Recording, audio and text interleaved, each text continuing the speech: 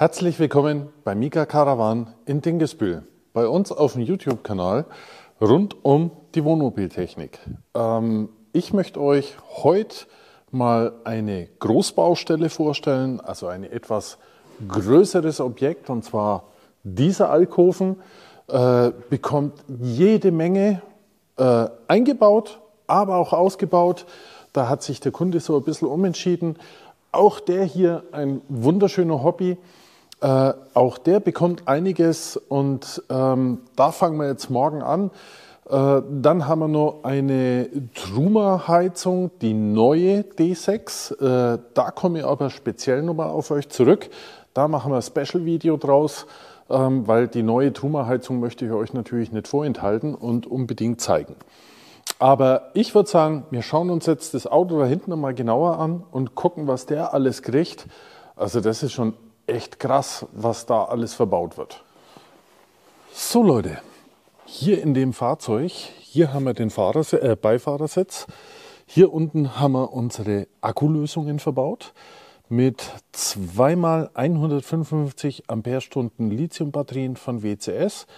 Ich blende euch das Ganze mal jetzt ein und dann gehen wir mit der ganzen Kabellage nach hinten und da ist dann Ladebooster und so weiter, wo da verbaut wird. Und das schauen wir uns dann jetzt einfach mal von innen an.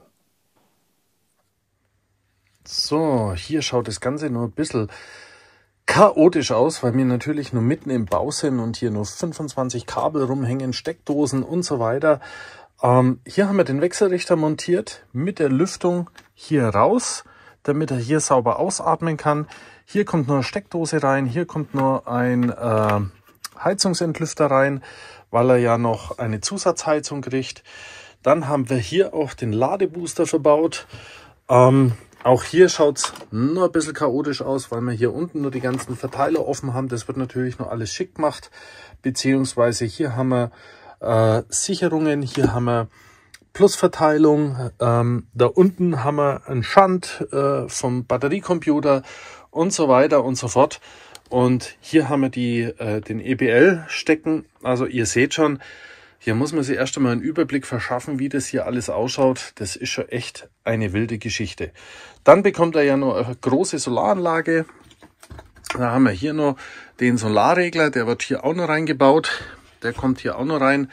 Also das ist schon noch ein bisschen ein Act, äh, was wir hier alles vorhaben. Und ja, das Auto kriegt schon echt eine Menge Holz. Der Wechselrichter ist eine Kombi. Ähm, jetzt müsst ihr lügen, müsst ihr auf den Auftrag schauen, ähm, welche Größenordnung das das ist. Ich glaube, das ist die 3000er. Also ist schon echt eine Nummer. So, auch hier haben wir wieder jede Menge Kabel entdeckt, wenn man da hinten aufmacht. Also man sieht ja, wie das alles ausschaut da hinter den Schränken. Es ist schon manchmal echter Wahnsinn. Wir versuchen jetzt da ein bisschen zu sortieren und das alles dementsprechend ein bisschen schick zu machen. Hier kommt auch unsere LTE-Antenne rein, äh, die wir schon verbaut haben, mit Ruder und allem drum und dran. Aber auch hier müssen wir natürlich äh, ein bisschen sortieren, das Ganze, damit es wieder alles ordentlich und sauber ausschaut. Ja, hat er ein Maxbank gekriegt. Ähm, der Original Rollo war das mal hier nicht nötig, also nicht möglich, weil das Dach relativ dünn ist. So musste man den Originalrollo von Maxman nehmen. Der passt aber hier sauber auf, also das ist auch kein Problem. Ähm, das Fahrzeug hatte eine Satzschüssel drauf, die haben wir runtergemacht, hatte eine Staukassenklimaanlage, die haben wir auch runtergebaut oder ausgebaut, weil der Kunde das so wollte. Ähm, dafür bauen wir natürlich wieder jede, jede Menge andere Sachen ein und ähm, da ist schon richtig was los. Ja, das Fahrzeug, habe ich euch ja gesagt, kriegt jede Menge. Ähm, unter anderem war noch ein Sog dabei, ist auch noch eine äh, Außendusche dabei, wo verbaut wird. Die LTE-Antenne habe ich euch gezeigt. Dann kriegt er vier Module, äh, Schindelmodule aufs Dach, ähm, damit man einfach, ja, natürlich einen dementsprechenden Solarertrag auch von oben nach unten erzielen können. Ähm, in die 310 Ampere-Stunden Lithium-Batterien, wo da unterm Sitz sitzen. Ein Maxwen habt ihr gesehen, wo er kriegt. Dann kriegt er einen Kühlschrank, Doppellüfter, eine Solarfernanzeige, noch eine Dieselheizung ähm, und so weiter und so fort. Also da ist jede Menge, äh, wo da noch verbaut wird. Unter anderem auch ein äh, Solaranschluss für äh, eine Solartasche, sprich im Heck. Da kommt noch ein, ein Solarmodul auf dem Hänger oben drauf. Auch das wird noch äh, gemacht. Also es ist verrückt. Also das ist wirklich äh, äh, super, super Auftrag, riesengroß. Ein Dachventilator haben wir noch ins Badezimmer gebaut. Äh, ist auch ganz nett, weil im Badezimmer das einfach die Luft dementsprechend entsorgt bzw. rausgeht. Ähm, Türhalter werden noch montiert und noch ein paar Kleinigkeiten dementsprechend. Also es ist hier echt eine fette Nummer. Ähm, wo das Auto kriegt. Und ich ähm, muss schon wirklich sagen, jetzt haben wir die Woche wieder einen Kranken zu beklagen. Da zieht sich das dann alles immer wieder. Das ist nicht ganz so einfach, so Riesenprojekte. Ähm, aber ich denke, dass wir Anfang nächster Woche mit dem Auto gut rumkommen. Dieselheizung müssen wir noch montieren, die wird Unterflur verbaut. Ähm, wenn das Auto fertig ist, da werde ich wahrscheinlich noch mal ein kleines Video drüber machen, weil das ist schon sehr spannend.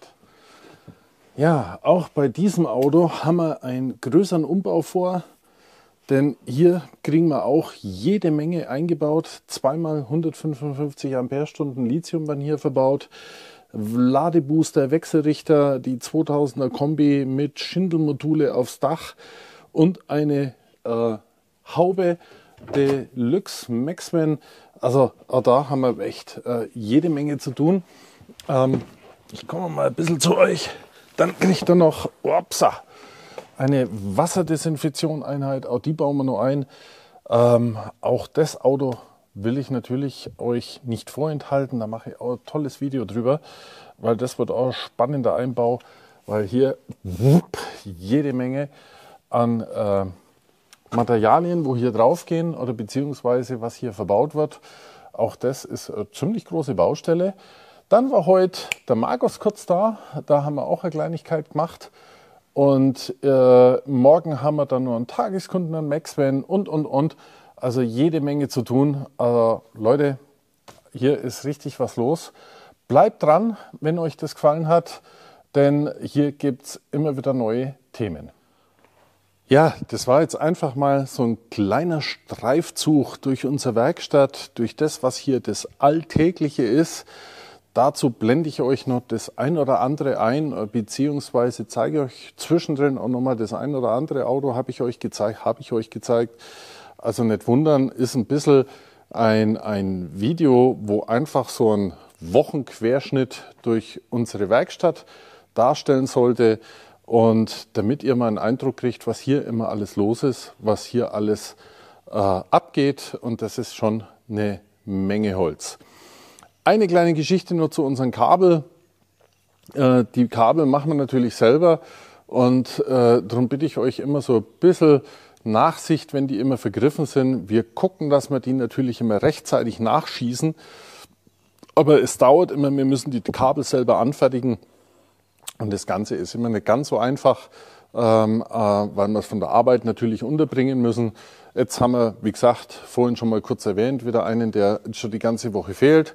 Das ist natürlich dann wieder chaotisch, weil dann äh, fällt bei fünf Mann eine Arbeitskraft weg, sind schon bloß nur vier. Dann nur ein paar Tageskunden, ein kleiner Notfall und schon raucht die Hütte und alles zieht sich nach hinten.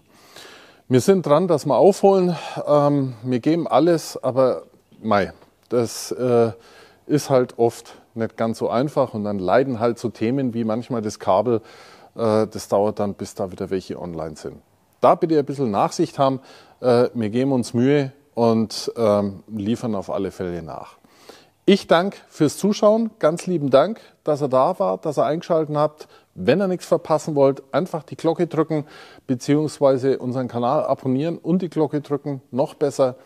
Ähm, dann verpasst ihr nichts mehr was wir alles so von uns geben, was wir hier alles so bewerkstelligen, was wir hier machen.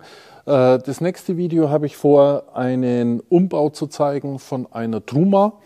Ähm, Habe ich zwar schon mal gemacht, aber hier geht es einmal um die neue Truma, die neue Truma D4 oder D6, die ja lieferbar ist. Ich habe die hier im Haus und da möchte ich euch dementsprechend mal mitnehmen. Und dann geht es natürlich noch um unser EcoFlow. Äh, nein, nicht EcoFlow, Entschuldigung, EFOI weil die habe ich ja jetzt bei mir montiert. Auch da möchte ich euch die ersten Ergebnisse liefern und mal gucken, wie es da weitergeht, beziehungsweise was da alles passiert ist. Und dann steht natürlich auch noch unser Solartest aus, der immer noch am Laufen ist. Und auch da möchte ich euch die Ergebnisse weiterhin präsentieren. Nur das ist alles aktuell so ein bisschen Zeitmanagement. Aber wir kriegen das hin und ich sage lieben Dank fürs Zuschauen und ich freue mich, euch bald wieder zu sehen. Ciao, ciao.